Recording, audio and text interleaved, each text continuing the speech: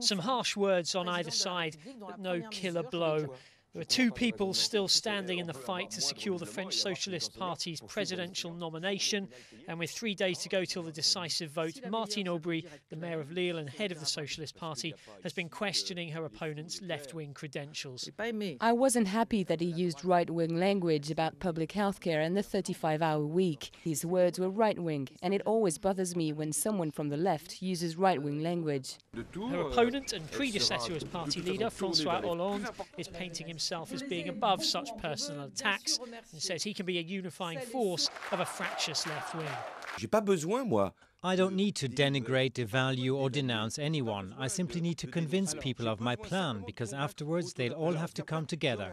What makes the difference with me is that I'm looking to unite people around a coherent line. These are France's first open primaries, which any voter can take part in. They've gripped the country, but the attention has made them unusually divisive. And that could be a problem after Sunday when the party needs to quickly reunite behind whoever's chosen.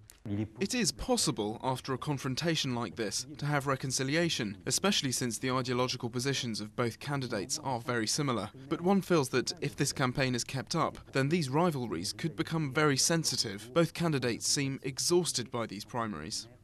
Nearly 6 million people watched their last debate on live television. With that kind of public involvement, whoever wins on Sunday might well feel they have every chance of doing well in presidential elections next year.